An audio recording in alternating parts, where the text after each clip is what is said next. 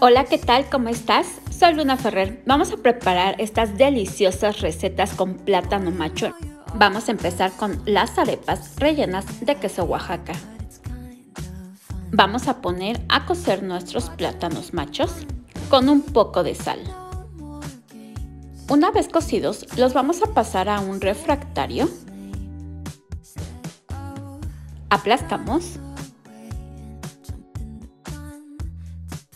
Agregamos una cucharada de mantequilla en temperatura ambiente. Agregamos media taza de pan molido, un cuarto de taza de harina de trigo, un poco de leche entera,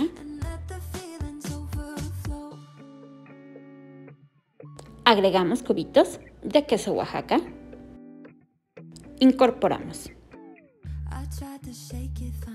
En nuestra máquina para hacer tortillas vamos a poner un poco de harina para que no se pegue nuestro plátano macho.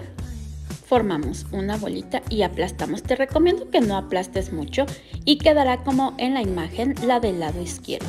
Yo prefiero hacerlas con las manos un poquito más gorditas. Vamos a coserlas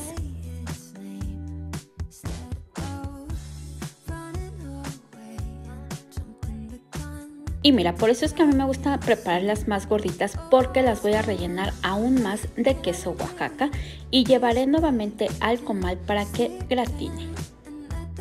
Y listo, así de deliciosas quedan estas arepas de plátano macho rellenas de queso. Vamos a la siguiente receta. Vamos a preparar unos molotes de plátano macho rellenos de carne molida. Vamos a poner a cocer dos piezas de plátano macho en nuestra sartén vamos a citronar un cuarto de cebolla finamente picada, un diente de ajo y una vez acitronados vamos a agregar carne molida. Agregamos sal al gusto.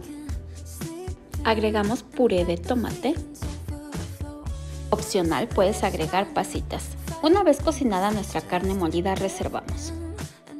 Ya cocidos nuestros plátanos machos vamos a retirar la piel y vamos a agregar un poco de pan molido, puedes sustituir por harina de trigo. Agrega sal al gusto. Aplastamos. Ahora vamos a tomar un poco del plátano macho, agregamos el relleno de la carne molida y cerramos con más plátano macho. Ahora vamos a llevar a freír en una ollita con suficiente aceite. Una vez fritos, retiramos el excedente de grasa Acompañamos con lechuga. Rayamos el queso que sea de tu preferencia. Agrega crema y listo, esta receta queda deliciosa.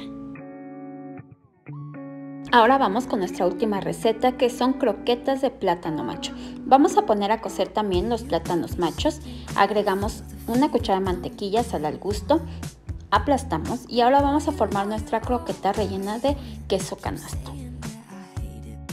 Empanizamos y llevamos a freír. Si gustas puedes llevarlos a tu freidora de aire. Y listo, esta receta es muy sencilla pero sabrosa. Yo soy Luna Ferrer y nos vemos para nuestra próxima receta. Bye.